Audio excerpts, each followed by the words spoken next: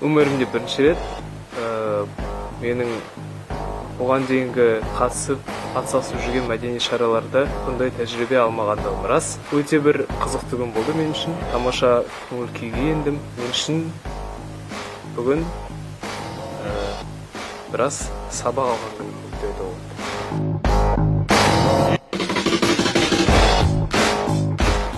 мен үшін бәрі қызықты болды.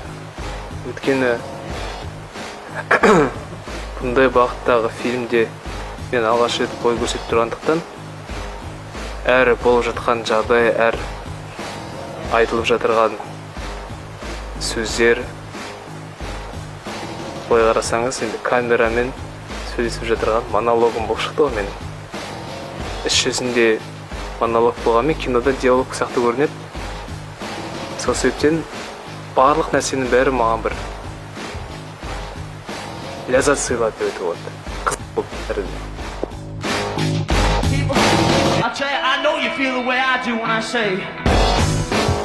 қыздардың бәрі жақсы ең алдымен әркімнің өз қалауы болады дегендей өз басым қыз баланың нәзік биязы иман жүзді салмақты ер азаматын ер азаматының ата анасын өте сыйлайтын ақжарқын мінезді кең пейілді нәзік жүректі қыздарды ұнатамын негізі солай болу керек деп ойлаймын өйткені ошақ басын ұстап тұратын әрине тек қана бір адам емес. Сол себептен ер азаматтың мерейін үстем қылып отыратын да ол әйел адам екенін білесіздер. Қандай қызды ұнатасың дегенде бір сұрақпен жауап бергенде менің анам сияқты қыздарды ұнатамын менің анамның мінезі қандай? Дәл сондай мінезді дәл сондай жан табылса дәл сондай перизат табылса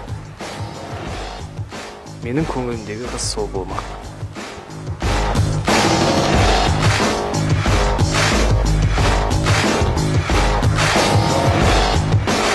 Екі саусақ бірдей емес дегендей әр адамның қалауы әртүрлі әр адамның талғамы әртүрлі әр адамның ә, ойындағы романтикалық бір оқиғасының шарықтау шегі әртүрлі болады дегендей білмеймін бір адам біраз уақыт қатарынан ішіндегі жүрек жарды лебізін өзінің сүйіктісіне білдіруге жүрексініп жүрсе енді екінші бір адам қасына келіп жақсы көремін деп бірден айта салады ә, ең алдымен сол сүйетін қызына деген сол қызының қасындағы таңдаған ә, ер адамына деген сүйіспеншіліктері ешқашан да сарқылмай бақытты болып жүрсін деймін осы видеоны көріп отырған барша көрермендерге爱奇艺悦享品质